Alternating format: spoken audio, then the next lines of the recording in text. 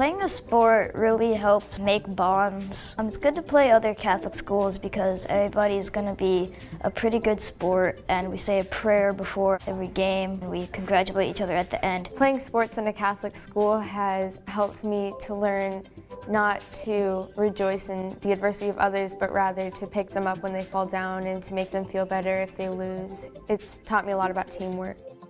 Join us for open house on November 11th from 9 a.m. to 2 p.m.